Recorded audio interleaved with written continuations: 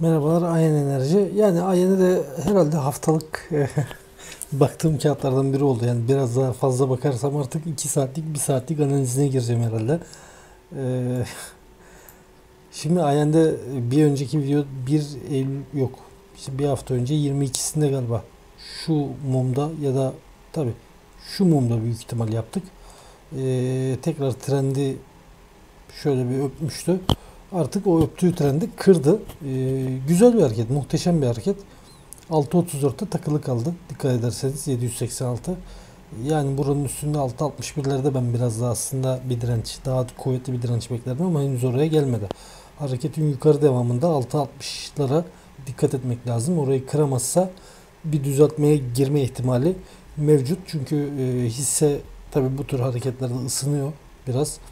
6.34 seviyesini burada kırıp da üstünde kalması olumlu. Onu söyleyeyim. Yani düzeltme olacaksa üstünde olmasını tercih ederim.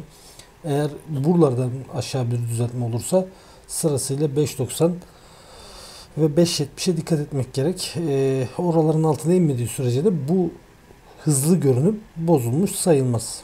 Yani 20 günün altı, 8 günün altında e, haftalık bekliyorsanız kağıtta o görünüm tabi bozulur ama 20 gün altında çok kısa vade bozulmuş olmuyor.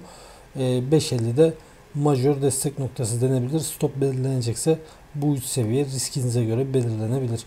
E, bunun dışında yani RSI 66'da henüz aşağı alıma girmemiş. Ama şimdi bir bakalım bir geri doğru. 88 var.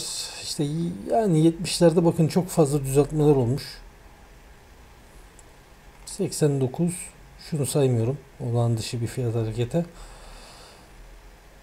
Yani 80'ler işte 75 mi diyelim yani 70'lerde de olmuş ama şurada.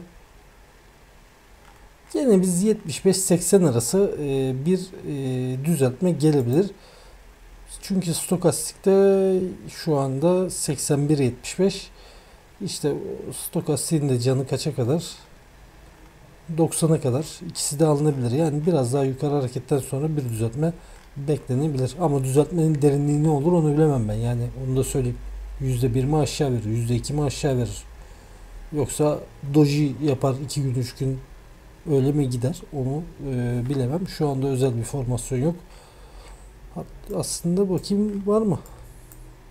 Ha var ayrıcı çizgi benzeri bir şey var. Ayrıcı çizgi olmuş burada. Yani yükseliş iyidir. Bunun dışında söyleyeceğim bir şey ayın için e, herhalde yok. Yani ana trend çizgisidir. Şu çizgi onu da hatırlatayım. Yani 4.86'larda falan kaldı. O biraz tabii çok geride kaldı artık.